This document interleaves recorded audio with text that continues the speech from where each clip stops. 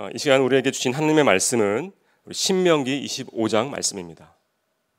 사람들 사이에 시비가 생겨 재판을 청하면 재판장은 그들을 재판하여 의인은 의롭다 하고 악인은 정죄할 것이며 악인에게 태형이 합당하면 재판장은 그를 엎드리게 하고 그 앞에서 그의 죄에 따라 수를 맞추어 때리게 하라. 40까지는 때리려니와 그것을 넘기지는 못할지니 만일 그것을 넘겨 매를 지나치게 때리면 내가 내 형제를 경히 여기는 것이 될까 하느라. 곡식 떠는 소에게 망을 씌우지 말지니라. 형제들이 함께 사는데 그 중 하나가 죽고 아들이 없거든 그 죽은 자의 아내는 나가서 타인에게 시집가지 말 것이요. 그의 남편의 형제가 그에게로 들어가서 그를 맞이하여 아내로 삼아 그의 남편의 형제된 의무를 그에게 다 행할 것이요. 그 여인이 낳은 첫 아들이 그 죽은 형제의 이름을 잊게 하여 그 이름이 이스라엘 중에서 끊어지지 않게 할 것이니라. 그러나 그 사람이 만일 그 형제의 아내 맞이하기를 즐겨하지 아니하면 그 형제의 아내는 그 성문으로 장로들에게로 나아가서 말하기를 내 남편의 형제가 그의 형제의 이름을 이스라엘 중에 잊기를 싫어하여 남편의 형제된 의무를 내게 행하지 아니하나이다 할 것이요. 그 성읍 장로들은 그를 불러다가 말할 것이며 그가 이미 정한 뜻대로 말하기를 내가 그 여자를 맞이하기를 즐겨하지 아니하노라 하면 그의 형제의 아내가 장로들 앞에서 그에게 나아가서 그의 발에서 신을 벗기고 그의 얼굴에 침을 뱉으며 이르기를 그의 형제의 집을 세우기를 즐겨 아니하는 자에게는 이같이 할 것이라 하고 이스라엘 중에서 그의 이름을 신 벗김 받은 자의 집이라 부를 것이니라. 두 사람이 서로 싸울 때에 한 사람의 아내가 그 치는 자의 손에서 그의 남편을 구하려 하여 가까이 가서 손을 벌려 그 사람의 음낭을 잡거든 너는 그 여인의 손을 찍어버릴 것이고 내 눈이 그를 불쌍히 여기지 말지니라.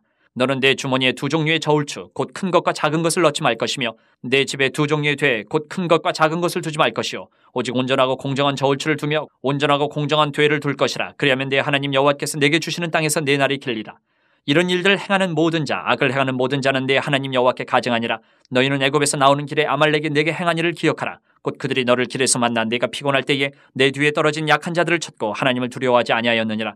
그러므로 내 하나님 여호와께서 내게 기업으로 주어 차지하게 하시는 땅에서 내 하나님 여호와께서 사방에 있는 모든 적군으로부터 내게 안식을 주실 때에 너는 천하에서 아말렉에 대한 기억을 지워버리라. 너는 잊지 말지니라. 아멘. 하나님의 말씀입니다.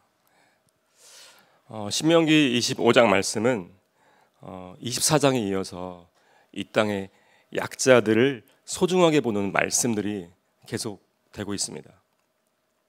어제 말씀드렸지만 이 성경이 쓰여진 3천년 전에는 인간의 생명과 권리에 대한 가치가 지금과는 비교할 수 없는 그런 시대였습니다. 노예와 하층민, 어, 여자와 아이들의 인권은 거의 짐승과 비슷한 수준이었고 사회 정의와 공평도 찾아볼 수 없는 그런 때였습니다. 이런 시대에 우리 하나님은 어, 소외당하던 하층민과 약자들 그리고 여자들을 위한 법을 세우셨습니다. 그런 후에 이스라엘 백성에게 이렇게 말씀하십니다. 25장 어, 15절입니다. 그리하면 내 하나님 여호와께서 내게 주시는 땅에서 내 날이 길리라. 하나님의 뜻이 낮은 곳에 있고 그의 복이 약자들에게서 나온다는 것입니다. 하나님은 어, 이스라엘 백성에게 약속의 땅에서 사회적 약자들을 소중히 여기고 그들과 함께 더불어가는 삶을 살도록 하셨습니다. 그런데 하나님이 이렇게 하신 이유가 있습니다. 바로 힘이 지배하는 약육 강식의 시대에 하나님의 나라는 세상 나라와 다르다는 것을 세상으로 알게 하시려는 것입니다. 그렇게 함으로 열방이 하나님이 누구신지를 알고 하나님께 영광을 돌리게 하시려는 것이었습니다. 4장 어, 5절에서 6절입니다.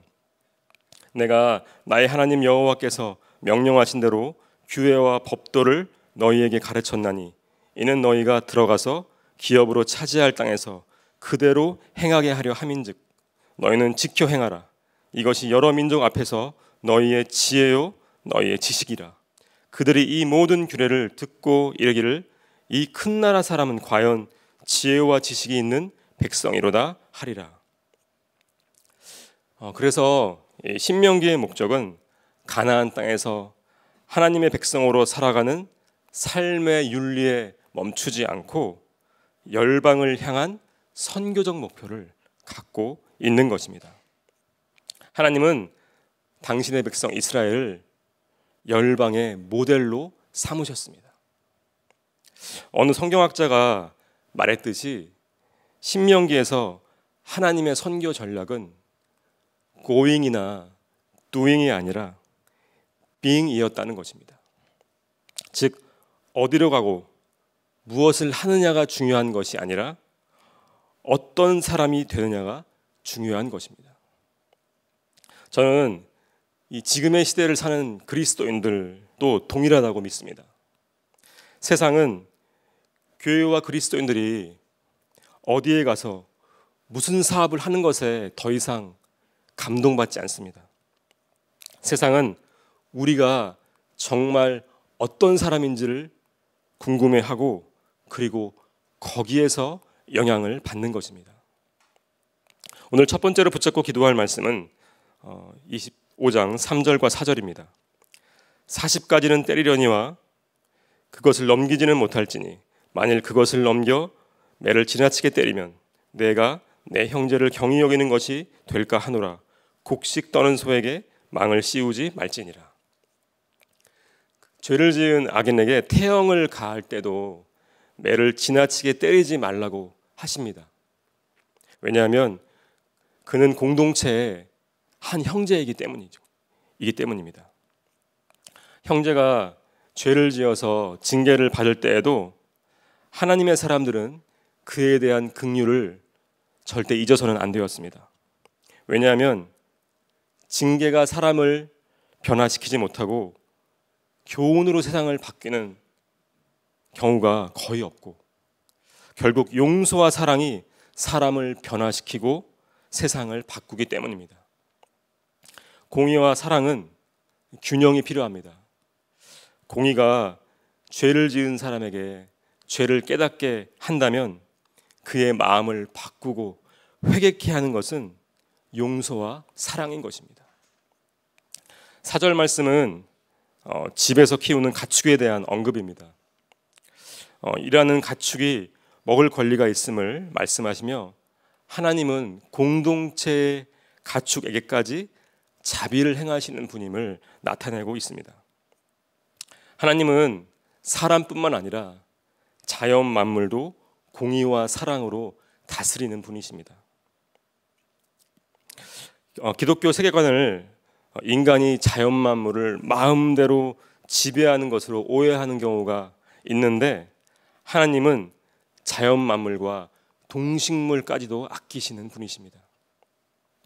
우리 시대에 환경 문제가 점점 심각해지고 있습니다. 우리가 사용하는 이 땅의 것들을 소중히 여기고 잠시 빌려서 쓰다가 다음 세대에게 잘 넘겨주어야 하는 사명이 우리에게 있습니다. 자연 만물의 회복에 대해서 로마서 8장은 이렇게 말하고 있습니다. 8장 21절에서 22절입니다. 그 바라는 것은 피조물도 썩어짐의 종노릇한 데서 해방되어 하나님의 자녀들의 영광의 자유에 이르는 것이니라. 피조물이 다 이제까지 함께 탄식하며 함께 고통을 겪고 있는 것을 우리가 아느니라. 어, 로마서에서는 온 땅의 피조물이 탄식하고 고통하고 있었으나 하나님의 자녀들이 죄에서 자유를 얻을 때 그때 자연 만물도 함께 회복된다고 말씀하고 있습니다. 자연을 낭비하고 함부로 훼손하는 행동도 하나님을 떠난 인간의 죄로부터 온 것입니다. 그러므로 우리가 죄에서 구원을 받은 후에는 자연 만물도 우리를 통해서 회복을 경험하게 되는 것입니다. 그 저 같은 경우는 영적으로 그 지쳤을 때 가장 먼저 나타나는 현상이 주변 사람과 환경에 대해서 무관심해지는 것입니다. 사람은 물론이고 그 사무실에 있는 화분이나 꽃병에 꽂혀 있는 꽃이 시들어도 아무 감각이 없어지더라고요. 바쁘다는 핑계 같지만 사실 제가 영적으로 게을러진 증거입니다.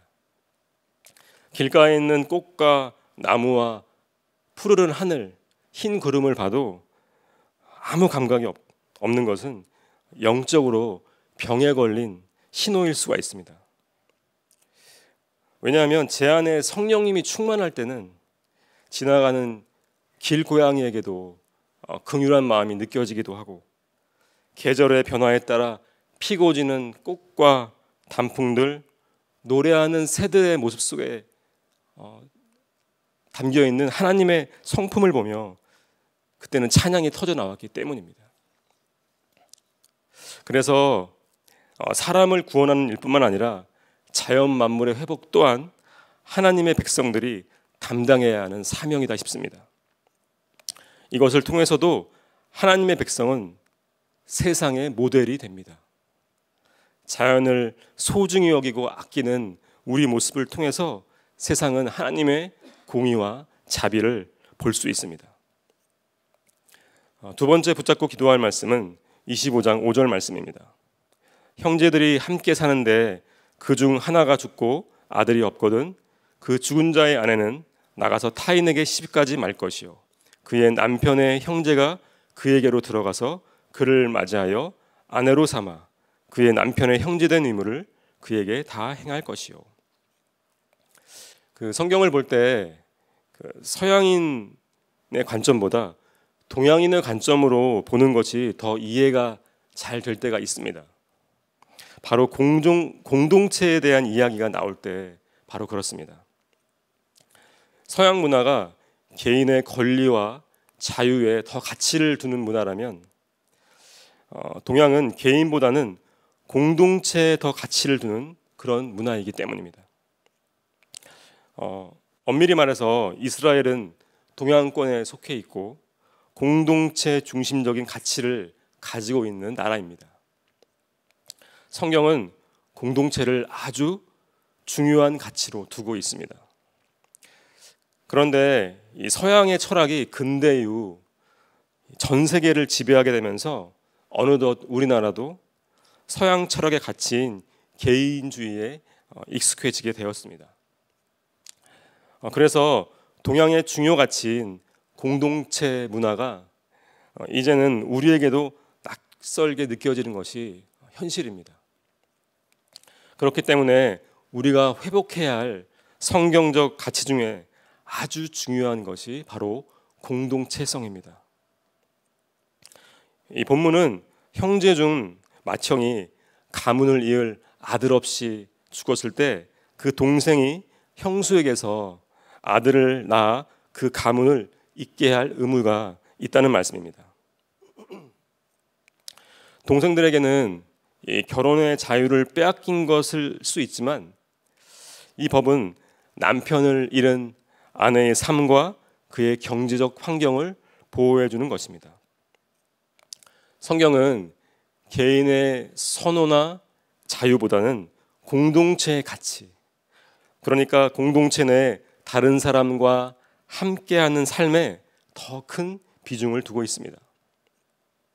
어, 우리나라도 그 옛날에는 그 어른들이 맺어준 대로 정원하고 그 얼굴도 못 보고 홀레식상에 들어갔다는 그런 전설 같은 이야기를 듣곤 했습니다. 그 참 말도 안 되는 어, 구습이라고만 생각했는데 요즘 우리 시대의 결혼 문화를 보면 과연 공동체의 가치가 중요했던 과거의 이 결혼 문화가 잘못된 것일까 하는 생각도 듭니다. 자유로운 연애와 동거 생활, 남녀가 좋으면 금방 함께 살았다가 싫어지면 또 금방 이혼하는. 그래서 깨어진 가정과 그로 인해 고통받는 아이들을 보면서 개인의 선택과 자유가 중요한 시대에 이 결혼 문화가 과연 진정한 행복을 만들어주는 것일까 생각하게 됩니다. 하나님은 이스라엘 백성으로 하여금 가족과 공동체를 소중히 여기도록 명령하셨습니다. 그곳에 바로 진정한 행복과 구원이 있기 때문입니다. 가족을 소중히 돌보는 하나님 나라의 백성의 삶을 통해서 이방 민족에게 하나님 나라의 윤리가 얼마나 높고 깊은지를 보여주기도 하였습니다. 그 잘 알려진 이야기인데 초대교회 교인들이 신앙을 지키기 위해 로마인에게 핍박과 순결을 당할 때의 일입니다. 당시 로마인들은 지식과 문화적 수준이 상당히 높았지만 성적으로 그리고 윤리적으로는 타락하였고 가정도 많이 무너져 있었다고 합니다. 그런데 그 로마인들이 볼 때 예수 믿는 것 때문에 핍박당하는 이 기독교인들은 그 삶이 너무 정결하고 가족 사랑과 공동체를 위한 희생의 모습이 너무 놀라웠던 것입니다. 그런 모습을 보던 로마인들은 점점 기독교인이 전하는 복음에 마음을 열게 되었고 그들을 아내와 며느리로 받아들이기 시작한 것입니다. 이것이 로마의 복음이 퍼지기 시작한 이유였습니다. 기독교인의 가족과 공동체에 대한 희생과 사랑은 지식과 문화 수준이 높다는 로마인들을 부끄럽게 할 정도로 정말로 깊고 놀라웠기 때문입니다. 이것이 바로 하나님의 선교 전략이었습니다. 개인의 욕망과 자유가 중요했던 시대에 그리고 그것 때문에 진정한 행복과 소중한 가치들이 무너지는 때 바로 그때 가족과 공동체를 소중하게 여긴 기독교인의 삶으로 참 진리와 행복을 세상에 보여준 것입니다. 죄인까지도 형제로 여기는 그런 긍휼한 태도 그리고 자연 만물을 소중히 여기는 마음 가족과 공동체를 최고의 가치로 여김으로 참 행복을 세상에 보여주는 삶. 이것이 하나님의 백성이 세상에게 보여주어야 하는 모습인 것입니다. 15절은 어, 25장 어, 15절은 그에 더하여 한 가지를 더 말씀해 주고 있습니다. 오직 온전하고 공정한 저울추를 두며 온전하고 공정한 되를 둘 것이라. 그리하면 내 하나님 여호와께서 내게 주시는 땅에서 내 날이 길리라. 어, 하나님의 백성으로 세상에서 지켜야 할 또 하나의 덕목이 정직함과 공정함입니다. 어, 믿음의 사람들에게 자비와 사랑이 넘칠지라도 정직과 공의가 없다면 그 모든 것이 불의하고 이기적으로 보일 뿐이기 때문입니다. 어, 주목자 급식 사역을 저는 자주 어, 섬기는데요. 이 주목자 급식 사역을 할 때 철칙이 있습니다. 무엇을 드리려면 모든 분들에게 다 드려야 하고 안 드리려면 다 안 드려야 합니다. 만약 누구에겐 주고 누구에겐 안 주었다면 그때는 엄청난 사단이 일어납니다. 사랑과 섬김도 공정하지 않으면 안 됩니다.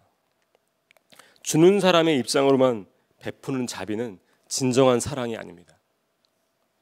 받는 분이 느끼기에 왜 나는 불공정한 대우를 받느냐라는 생각이 들지 않도록 해야 합니다.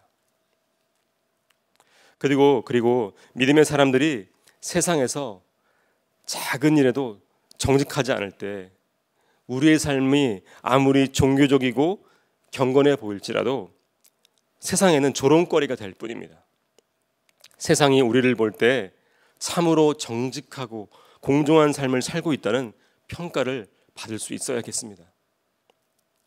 길거리에서 작은 공공 질서를 지키는 것, 횡단보도 하나 건너는 것, 신호 하나 지키는 것, 그리고 쓰레기 하나를 제대로 분리해서 버리는 것. 이런 것들이 내 안에 계신 하나님의 영광을 드러내기 위해서 그렇게 해야겠습니다. 사랑하는 성도 여러분, 이러한 작은 섬김과 실천을 통해서 세상에 하나님의 공의와 사랑을 전하는 그런 오늘 하루 되시기를 예수님의 이름으로 축복합니다. 이 시간 어, 말씀을 붙잡고 두 번에 나눠서 다음에 기도 제목으로 함께 기도하겠습니다. 첫 번째로 기도할 때 내 주변의 작은 한 사람 그리고 자연 환경까지도 소중히 여기는 마음을 우리에게 허락하여 주시옵소서. 이러한 나의 삶을 통해서 아주 작은 생명까지도 아끼시고 소중히 여기시는 하나님의 사랑을 세상에 보이게 하여 주옵소서. 우리 다 같이 주여 한번 외치고 기도하시겠습니다. 주여 사랑하시는 하나님 아버지 그렇습니다 아버지 우리가 아버지 내 주변에 작은 한 사람 아버지 그 한 사람을 소중히 여기는 그런 마음 약자들 하나님 이 세상에서 소홀히 여기는 그 사람 한 사람을 소중히 여기는 그 마음을 통해서 세상의 아버지라며 하나님의 놀라운 사랑과 하나님의 긍휼과 하나님의 공의와 하나님의 우리를 향한 아버지는 한 가지도 아끼지 않으시고 아버지 놀랍게 사랑하시는 그 마음을 보게 하여 주옵소서. 주여 그럴 뿐만 아니라 주님 동식물과 자연 만물까지도 아끼시는 하나님의 마음을 우리를 통해서 세상이 보게 하여 주옵소서. 세상이 우리의 사람됨을 보면서 우리 아버지 하나님의 주여 진정한 섬김과 겸손과 사랑과 자비와 아버지 하나님의 주님 소중히 여기는 것을 보면서 아버지 하나님의 영광과 하나님의 뜻을 보게 하여 주옵소서. 아버지 주여 신명기의 성교절록 아버지 주여 무엇을 무엇을 하고 무엇이 가느냐가 중요한 것이 아니라 우리가 세상에서 어떤 사람으로 사느냐가 중요한 이때 우리의 삶의 아버지 하나님 하나님 보시기에 세상이 보기에 정말 선하고 정직하고 아버지 사랑이 많은 삶을 살 수 있도록 인도하여 주옵소서. 나의 이런 삶을 통해서 아주 작은 생명까지도 소중히 여기시는 하나님의 놀라운 사랑을 세상으로 보게 하여 주옵소서. 하나님의 세상 하나님의 세상을 얼마나 아끼시고 사랑하시는지를 우리의 삶과 우리의 섬김과 우리의 아버지 하나님 나눔을 통해서 보게 하여 주옵소서. 특별히 아버지 하나님 우리 아리 기독교의 삶을 통해서 이루시고 역사하여 주옵소서. 어, 두 번째로 기도할 때 우리 두 번째로 기도하신 이후에 어, 더 깊은 기도로 주님께 나아가시겠습니다. 어, 제게 주신 가정과 공동체를 진정 소중히 여기게 하옵소서. 바로 그곳에서부터 하나님의 나라가 시작됨을 믿고 오늘 하루 거기서부터 공의와 사랑을 바로 행하게 하여 주옵소서. 우리 다 같이 주여 한번 치고 기도하겠습니다. 주여 아버지 하나님, 오 주여 아버지 하나님 그렇습니다. 주님, 우리에게 주님께 허락하신 이 가정 하나님이여 주님 성경의 가치인 이 공동체와 가정을 소중히 여길 수 있도록 인도하여 주옵소서. 아버지 하나님의 개인의 욕망과 아버지 개인의 아버지 주여 자기의 선택이 중요한 시대에 하나님의 공동체와 가정을 소중히 여기는 하나님 나라의 가치관으로 오늘도 아버지 내가 내가 속해 있는 공동체 나에게 소중한 가정 내 아버지 아내와 자녀와 내 아버지 어머니를 아버지 주여 정말 주님 대하듯이 아버지 사랑으로 섬기고 아버지 그것에 아주 하나님의 나라와 다스리심을 회복하는 일이 오늘 우리에게 있게 하여 주옵소서. 세상이 우리를 보고 가정과 공동체를 위해서 희생하고 헌신하며 섬기는 모습을 보며 하나님의 영광을 보는 그런 오늘 하루 될 수 있도록 인도하여 주옵소서. 길거리에 가면서 아버지 주여 작은 아버지 주여 정의와 정직과 공의를 행하는 일도 하나님의 영광을 위해서 할 수 있도록 인도하여 주옵소서. 세상이 나를 통해서 하나님의 영광과 하나님의 뜻과 하나님의 공의를 볼 수 있도록 정직과 진실함을 볼 수 있도록 주님 나를 사용하여 주옵소서. 오늘도 아버지 오늘 하루